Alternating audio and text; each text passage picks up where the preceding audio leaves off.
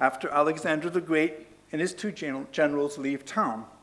There was once a good and honest king named Amarashakti who had three ignorant and lazy sons. Many educational experts offered His Majesty their theories about the three princes' proper instruction for managing the kingdom in the future. But nothing was working. King Amarashakti was in despair. His hair grew grayer and grayer every day, and what his sons needed to know in order to rule was just disappearing across the horizon, and he was going to die, and his kingdom was going to lie in ruins. If they didn't learn soon, he was in trouble. In modern management speak, the kingdom had what is called a profound succession problem.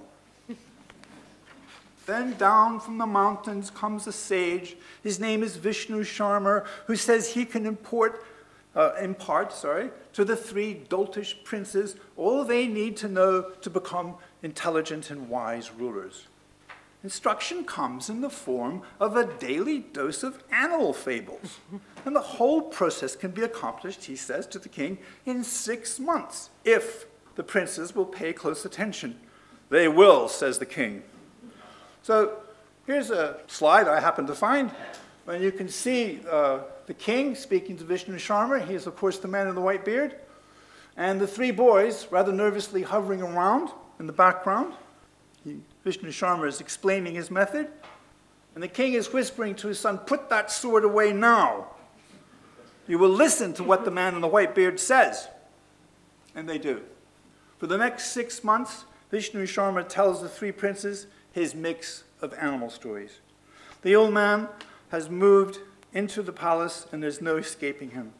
but in the end, the princes learn what they have to, and they are clearly well suited for the new burden of leadership which will fall on their shoulders. King Amarashakti is delighted knowing that he can now die with at least one problem solved. Vishnu Sharma is an old man, as you can see, with his white beard, and he wants nothing except to return to the mountains, which he does with everyone's thanks and blessings, but only after he has penned his stories, the Panchatantra. Thus, our book has become a genre called The Mirror for Princes. Instruction given to princes is part of their training to be monarchs. So, the Panchatantra's political usage of animal stories has by now veered quite radically away from the Buddha's original spiritual message. We are in Machiavellian territory. Many great names can be associated with this Indian incarnation of these animal stories. I mentioned Sir Richard Burton earlier.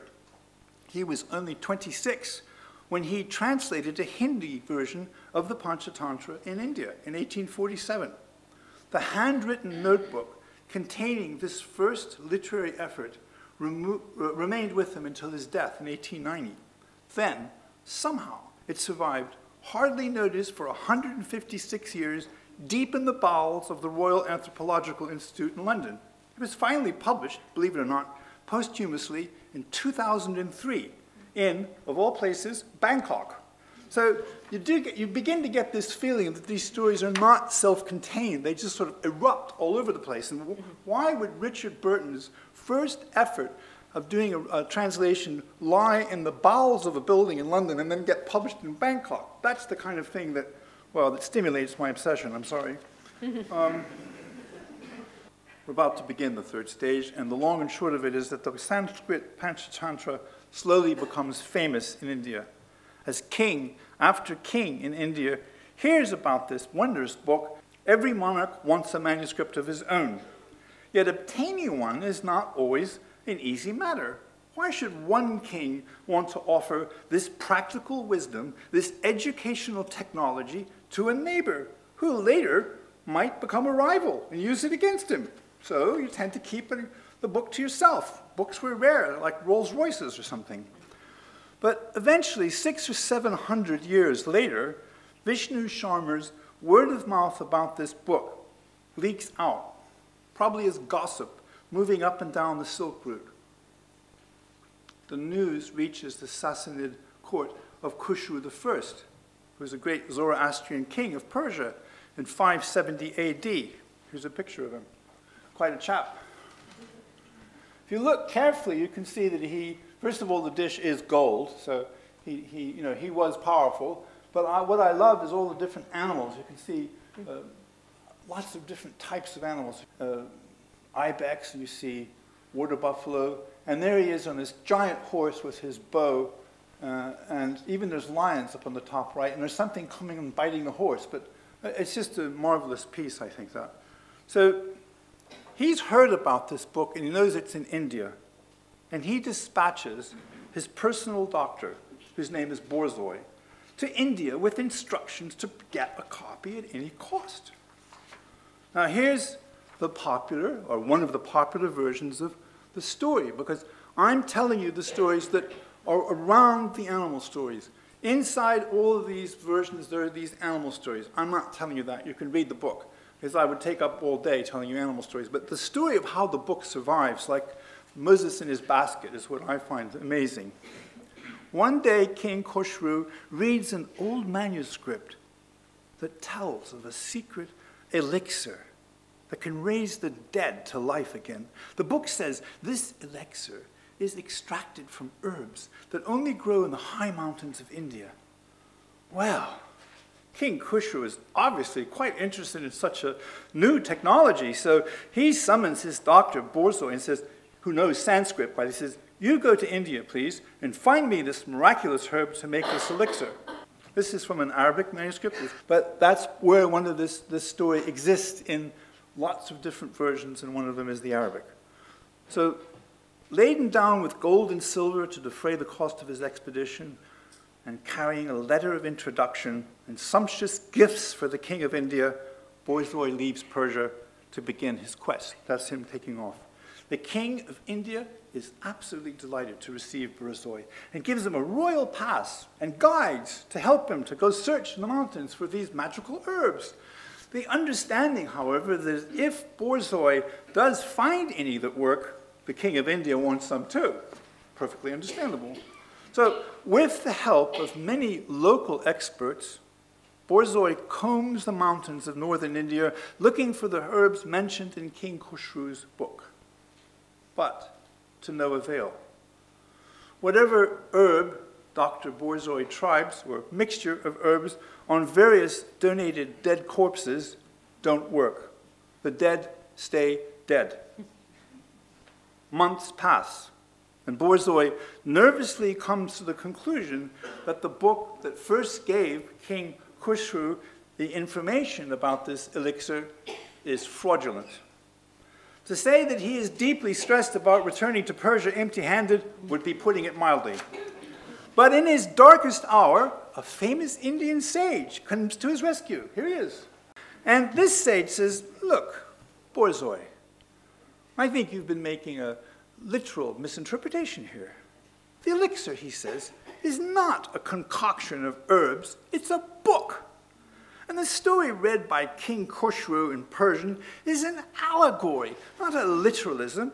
The high mountains of India, he continues, stand for the wise and learned men and women of lofty intellect.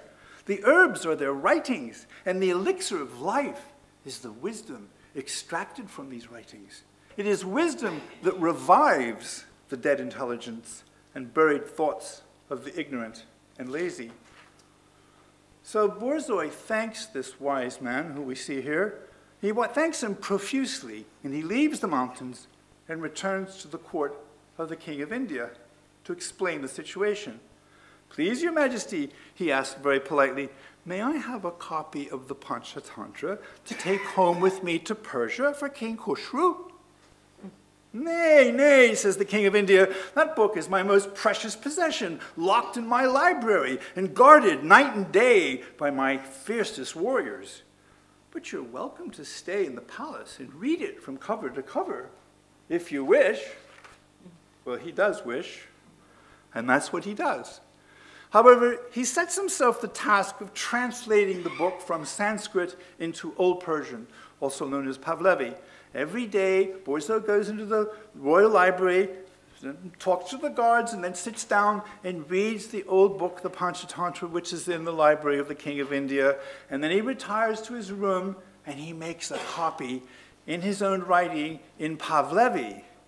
And from time to time, he takes these little packets that he's done, these translations, and he ships them back to Persia in diplomatic bags. so, over the months, finally, this particular task is completed. And Borzoi returns to the court of Khusro and is received with great joy and celebration when he delivers the Indian book that is now a Pahlavi manuscript. Here, we, here he comes. There he is. You see him. Mm -hmm. I can't read the Persian, but uh, that's him there, and there's King Khusro. This is from Ashramana, I think. And uh, everybody's saying, my God, how did he do it? So he put it in diplomatic bags, you know. oh, great. Anyway, the king is terribly, the king is terribly happy. Um, and he reads a bit of the book or has it read to him, and the deep wisdom in it stirs him no end. He even builds a great library in which this book is encased and with the Panchatantra, five chapters given the place of honor. But because, this is a footnote here, because this is a Zoroastrian kingdom and not a Hindu one, the manuscript's title is changed. It's no longer called the Panchatantra, it's called Kadirak ud Damanak, named after the jackals in the first chapter of the Panchatantra. It is also true that the Persians of yore found it difficult, so we're told, to pronounce Sanskrit words. So it's no longer called a Panchatantra, as it makes this particular part of its trip. As to Borzoi, here we go again. The king offers him riches, titles, anything he wants. Borzoi says no. All I want is a biography of my adventures mentioned in all future editions of Kadirak ud Damanak, so that his role can be preserved and remembered throughout history. So this the king does. He calls his greatest scribe and says, get this man's story down and make it good. Well, it was a good story. So Borzoi was very intelligent. We know quite a bit about his intelligence and his physical skills as a doctor. So this story was written, and then they told it. These are, these are the uh, four main characters of the first uh, Tantra of the, Pasha, of the Panchatantra, or of the first book section of Kalila and Dimna, the bull, the king lion, and the two jackal brothers. And it is the jackal brothers who give the name to all books after it uh, leaves India. So here is a famous storyteller in the court of uh, Khusru I, telling the biography of the noted Borzoi who managed to smuggle in a copy of the Panchatantra back to Persia. So we're now going to the fourth stage of the journey and starts in the Abbasid Caliphate. This is a really important part because it is because of this period that we do have this book. Uh, this map shows you roughly the extent of the caliphate. The early armies of the Umayyad caliphs have spread the new religion of Islam, and the second Abbasid caliph, Al-Mansur, is planning the Great Translation movement, which will fan out from his new capital in Baghdad hundreds of years in the future, benefiting humanity. He is the ruler who instigates the rescue of ancient Greek, Persian, and Indian knowledge for our future. An awful lot of emphasis is placed on the preservation of Western knowledge of you know, Aristotle, et cetera, et cetera, but he also did this other stuff. Here's a picture of Al-Mansur. I think this, the, all these pictures of uh, characters from ancient history all come from the same factory in Cairo or something. They, they all look the same. They're always looking noble and, I mean, I quite like them, but I, I never can detect a huge difference. I think it's all one artist, but be that as it may. Uh,